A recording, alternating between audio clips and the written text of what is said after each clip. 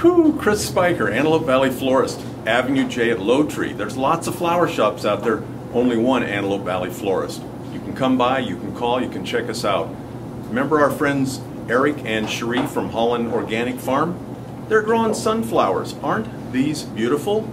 Long stem, narrow stem, large head, bright, radiant yellow color. So this week and this week only, we've got them. They're a dollar each if you mention myantelopevalley.com. myantelopevalley.com. myantelopevalley.com. Say Chris, is it yours?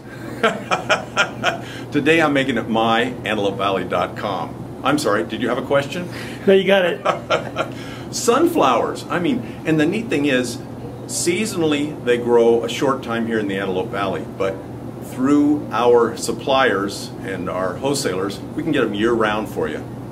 Not always as pretty. These are local, these are beautiful. Come by and check them out at Antelope Valley Florist. Thanks for coming by. So, Chris, if I call 948 6006, mention the fact that I saw this Yeah. uh, ad, I'm going to get a better deal. One dollar each. Normally No. they're more. Are you pulling my half leg? No, I'm not. Okay. But you know, it's summertime. We want to see you. It's hot out there. People are coming in, and people sometimes wait until a holiday or an occasion for sending flowers. The important thing is, there's no time like right now. Come on by Antelope Valley Florist.